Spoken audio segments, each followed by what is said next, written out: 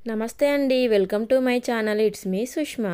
Friends మామూలుగా మనము వ్రతాలు పూజలు చేసిన తర్వాత వచ్చిన నిర్మాల్యాలను అంటే పూలు కానీ ఆకులు కానీ వాటన్నిటినీ కూడా పారవేస్తూ ఉంటాం లేదంటే ఇంట్లో కుండీల్లో కంపోస్ట్ చేస్తూ ఉంటాం. అలా కాకుండా ఆ పూలతో మనం చక్కని సువాసననిచ్చే ధూప్ కోన్స్ని ఎలా తయారు చేసుకోవాలో ఇప్పుడు నేను మీకు చూపించబోతున్నాను.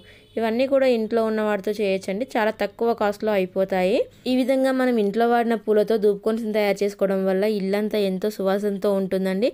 అంతేకాకుండా ఇంట్లో ఉన్న నెగిటివ్ ఎనర్జీ కూడా బయటికి వెళ్ళిపోతుంది. సో మరి ఆ ధూప్ కోన్స్ని ఎలా తయారు చేసుకోవాలో చూసేద్దామా?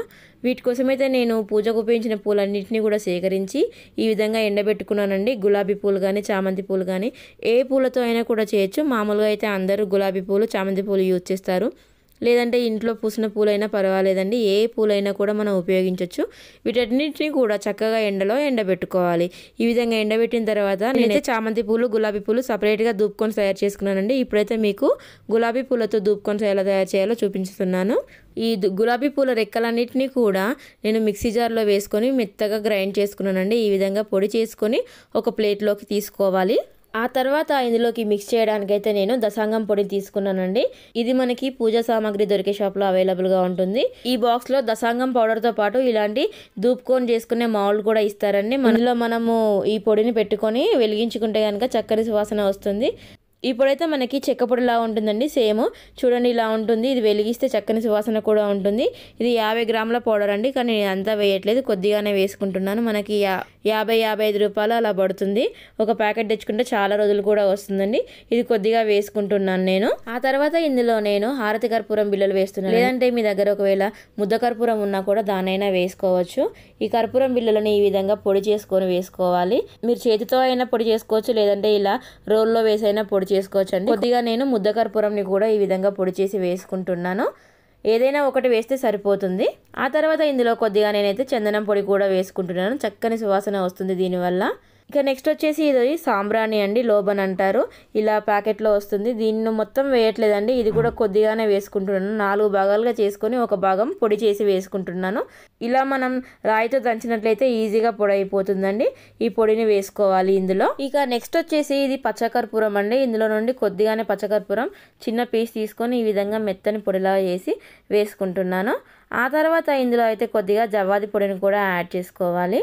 ఇంకా చివరిలో అయితే కొద్దిగా నెయ్యి కూడా వేసుకుంటున్నానండి. రెండు నుండి మూడు స్పూన్ల నెయ్యి వేసుకుంటున్నాను. అలాగే కొద్దిగా కొబ్బరి నూనె కూడా వేసుకొని ఇవన్నిటిని కూడా చక్కగా మిక్స్ చేసుకోవాలండి.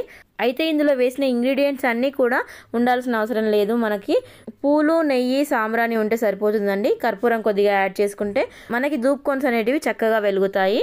ఇక ఈ మిశ్రమం అనేది మనకి ముద్దలా రావడం కోసం ఇందులో పన్నీర్ కానీ రోజ్ వాటర్ కానీ వేసుకోవచ్చు లేదంటే గంగాజలం ఇంకా మనకి ఏవి లేవనుకుంటే ఇంట్లో ఉన్న నార్మల్ వాటర్ ఉంటాయి కదండి శుద్ధమైన జలం వాటినైనా కొద్ది కొద్దిగా వేసుకుంటూ ఈ విధంగా ముద్దగా వచ్చే విధంగా కలుపుకోవాలి.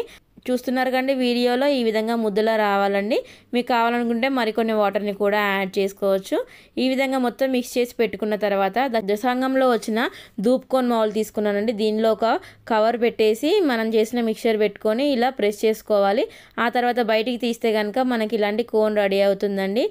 మనకి కవర్ పెట్టుకోకుంటే మాత్రం ఇందులో నుండి బయటికి కోన్ రాదండి. అలానే స్ట్రక్ అయిపోతుంది. కవర్ పెట్టుకుంటే మనకి ఈజీ అవుతుందండి అది బయటికి రావడానికి.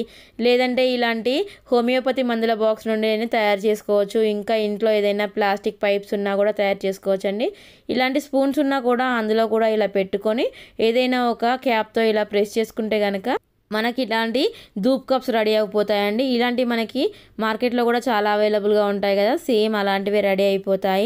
సో నేనైతే ఇలా హోమియోపతి మందుల డబ్బా ఉంటుంది కానీ దానిలో కూడా పెట్టుకొని ఇలా ప్రెస్ చేసుకున్నానండి. ఆ తర్వాత మనం ఏదైనా పెన్తో కానీ చేయితో కానీ ఇలా నెడితే ఉంటే మన కోన్ బయటికి వచ్చేస్తుంది ఈ విధంగా అన్నీ రెడీ చేసుకున్న తర్వాత వీటిని చక్కగా ఎండలో ఎండబెట్టుకోవాలండి. మనకి ఎండ లేకపోయినా నీడలో పెట్టినా కూడా ఎండిపోతాయి.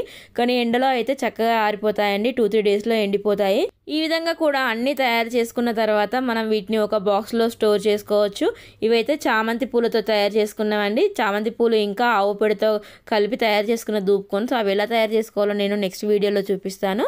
సో ఇప్పుడైతే మనకి బాగా ఎండిపోయాయండి ఈ దూపుకొని వీటిని చక్కగా మనం వెలిగించుకుంటే కనుక చక్కని సువాసన వస్తుందండి. మన ఇల్లంతా కూడా పరిమళ భరితం అయిపోతుంది. అలాగే ఇంట్లో ఉన్న నెగిటివ్ ఎనర్జీ లాంటివన్నీ కూడా బయటికి వెళ్ళిపోతాయి. ఇందులో మనం కర్పూరం వేయడం వల్ల అచ్చం బయట వెలిగించిన ధూప్ కొన్స్లానే ఉంటాయండి. మనం ఇలా వెలిగించగానే వెంటనే వెలిగిపోతాయి. అంతేకాకుండా చివరి వరకు కూడా మనకి పొగ అనేది చక్కగా వస్తుంది. సో ఫ్రెండ్స్ చూసారు కదండి ఇంట్లో వాడిన పూలతో ధూప్ కొన్స్ ఎలా తయారు చేసుకోవాలో. మామూలుగా అయితే మనం పూలని పడేస్తూ ఉంటాము వాడేసిన తర్వాత. లేదంటే తొక్కుల్లో వేస్తామని భయం అవుతుంది అలా కాకుండా ఇలాంటి ధూప్ కొన్స్ తయారు చేసుకుంటే కనుక మనం ఇంట్లోనే వాటిని వాడుకోవచ్చండి. సో ఫ్రెండ్స్ ఈ వీడియో మీకు నచ్చినట్లయితే లైక్ చేయండి అలాగే మీ అభిప్రాయాన్ని కామెంట్ చేయండి.